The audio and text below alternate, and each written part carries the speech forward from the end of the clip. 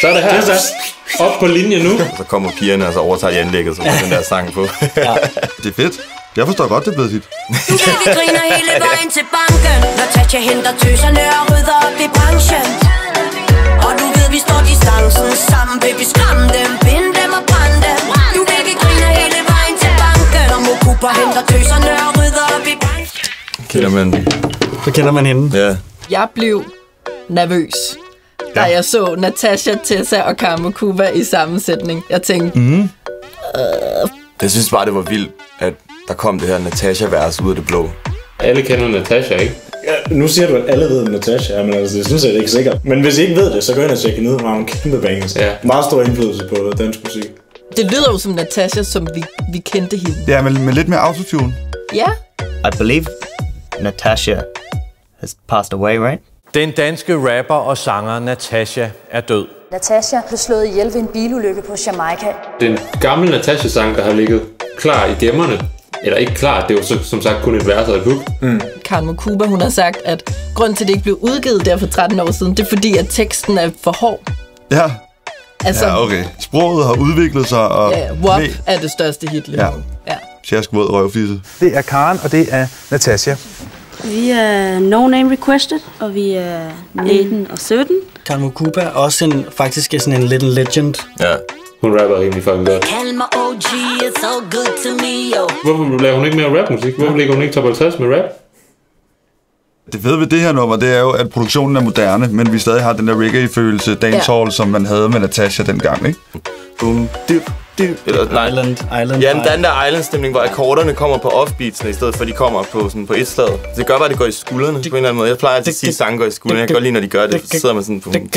Det, er sådan, det hopper sådan lidt. Agtigt. Ja. Kæmpe udenlandsk øh, inspiration ned fra... Mm. De varme rytmer. Ja.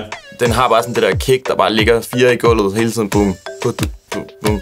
Det giver bare sådan en stabil dansetempo. Boom, boom. Den der rytme, den, man kunne slet ikke undgå den i radioen øh, for fire år siden. For mig, der piker det ligesom også bare hver gang Natasha kommer på. Ja, det er fordi, man savner hende. Der er altså en kæmpe nostalgifaktor i, at Natasha, hun er død. Mm. Og hun ikke har udgivet noget i over 10 år. Folk de får det helt sygt, når de hører Natasha. Mm. Det er alle aldre. Altså, hun stod til at overtage hele verden. Hun var sådan en inspiration for mange, tror jeg. Ja, men helt klassisk, så har hun jo noget på hjerte. Ja. Men hun er jo en legende og mytisk, Ja. fordi hun var så dygtig først og fremmest. Hun har meget sådan flabet udtryk. Det er faktisk rigtigt, det er sygt flavet. Ja. Ja. Det sådan den der... Ja.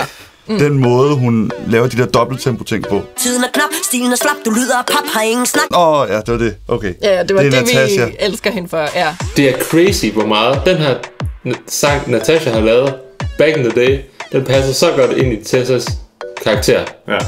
Jeg tror også, hun havde fucket med det her collab. Ja, det tror jeg også. er lige til at høre. De afsender den samme energi, den Ja, der ja. bossiness. Altså, man kan godt forestille sig, at det ville være sket alligevel. Ja, præcis. De ville have været perleveninder. Det tror jeg også. Og haft en, en kæmpe vibe. Tessa, hun har fået sådan en Natasha-effekt også. Hvis Tessa er der, så er det bare, let's fucking go, du ved. Ja. I'm a sucker for Tessa as well. Giver den gas, ja, op med hovedet, nu tager vi Danmark tilbage. Hver... Is this a Tessa part? Yeah. No, it's good. Hendes flow er så tight, Mm. Og hun er god til at sige rigtig mange ting, hvor du kan høre, hvad hun siger.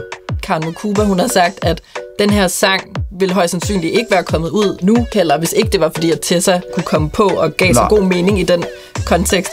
Den har taget noget fra... Øhm